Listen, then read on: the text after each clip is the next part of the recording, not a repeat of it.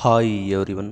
ಇಂದು ಮಾನ್ಯ ಮುಖ್ಯಮಂತ್ರಿಗಳಾದ ಬಸವರಾಜ ಬೊಮ್ಮಾಯಿಯವರು ಎರಡು ಸಾವಿರದ ಇಪ್ಪತ್ತ್ಮೂರು ಇಪ್ಪತ್ತ್ನಾಲ್ಕನೇ ಸಾಲಿನ ಬಡ್ಜೆಟನ್ನು ಕೂಡ ಅನೌನ್ಸ್ಮೆಂಟ್ ಮಾಡಿದರು. ಇದರಲ್ಲಿ ಮೇಯ್ನಾಗಿ ರಾಜ್ಯದ ಶಾಲಾ, ಕಾಲೇಜು ವಿದ್ಯಾರ್ಥಿಗಳಿಗೆ ಕೆಲವೊಂದು ಕೊಡುಗೆಗಳನ್ನು ಕೂಡ ಕೊಟ್ಟಿದ್ದಾರೆ. ಅವುಗಳನ್ನು ತಿಳಿಸ್ತೀವಿ. ಚಾನಲ್ಗೆ ಸಬ್ಸ್ಕ್ರೈಬ್ ಏನೋ ಸಬ್ಸ್ಕ್ರೈಬ್ ಆಗಿ ವಿಡಿಯೋ ಇಷ್ಟ ಆದರೆ ಲೈಕ್ನ ಮಾಡಿ. ಇದರಲ್ಲಿ ಪ್ರಮುಖವಾದ ಮಾಹಿತಿಗಳು ಆದರೆ ಇಲ್ಲಿ ಮೊದಲು ಬಂದ್ಬಿಟ್ಟು ಉನ್ನತ ಶಿಕ್ಷಣ, ವಿದ್ಯಾರ್ಥಿಗಳ ಉನ್ನತ ಶಿಕ್ಷಣಕ್ಕೆ ಇಂತಿಷ್ಟು ಕೋಟಿ ರೂಪಾಯಿ ಹಣವನ್ನು ಎತ್ತಿಟ್ಟಿದ್ದೀವಿ. ಅಲ್ಲಿ ಮೆರಿಟಲ್ಲಿ ಬರೋ ವಿದ್ಯಾರ್ಥಿಗಳಿಗೆ ಉನ್ನ- ಉನ್ನತ ಶಿಕ್ಷಣವನ್ನು ಕೊಡ್ತೀವಿ ಅಂತೇಳಿ ನೋಟಿಸ್ ಮಾಡಿದ್ದಾರೆ. ಎರಡನೇದಾಗಿ ಉಚಿತ ಬಸ್ ಪಾಸ್, ಉಚಿತ ಬಸ್ ಪಾಸನ್ನು ಕೂಡ ಘೋಷಣೆ ಮಾಡಿದ್ದಾರೆ. ಕಟ್ಟಡ ಕಾರ್ಮಿಕರ ಮಹಿಳೆಯರಿಗೆ ಅದೇ ರೀತಿ ರಾಜ್ಯದ ಎಲ್ಲ ಶಾಲಾ ಕಾಲೇಜಲ್ಲಿ ಓದುತ್ತಿರುವ ಮಹಿಳೆಯ, ಮಹಿಳೆ ವಿದ್ಯಾರ್ಥಿಗಳಿಗೆ, ಅಂದರೆ ಮಹಿಳೆಯರಿಗೆ, ವಿದ್ಯಾರ್ಥಿನಿಯರಿಗೆ ಉಚಿತ ಬಸ್ ಪಾಸನ್ನು ಕೂಡ ಘೋಷಣೆಯನ್ನು ಕೂಡ ಮಾಡಿದ್ದಾರೆ. ಇದು ಪ್ರಮುಖ ಎರಡನೇ ಮಾಹಿತಿ.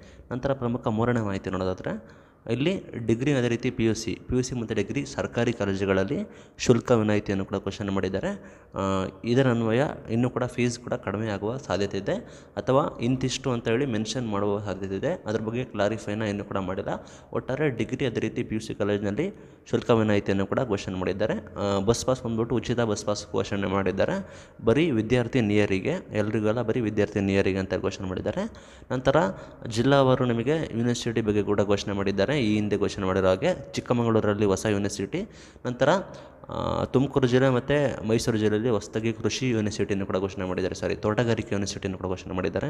ನಂತರ, ಇಲ್ಲಿ ಸಾಕಷ್ಟು ಕಾಲೇಜು ಪಾಲಿಟೆಕ್ನಿಕ್ ಕಾಲೇಜುಗಳಿಗೆ ಕೂಡ ಅನುಮೋದನೆ ಕೂಡ ಕೊಟ್ಟಿದ್ದಾರೆ.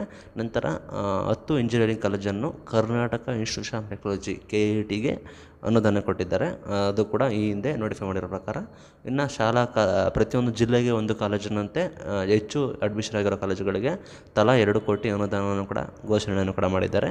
ಈ ಎಲ್ಲ ಮೇಯ್ನಾಗಿ ಮೇಜರ್ ಹೈಲೈಟ್ಸ್ ಬಂದುಬಿಟ್ಟು ಇಂದಿನ ಬಡ್ಜೆಟ್ದು ಮೊನ್ನೆ ಮುಖ್ಯಮಂತ್ರಿಗಳಾದ ಬಸವರಾಜ ಬೊಮ್ಮಾಯಿ ಅವರು ಕೂಡ ಘೋಷಣೆಯನ್ನು ಕೂಡ ಮಾಡಿದ್ದಾರೆ. Thank you for watching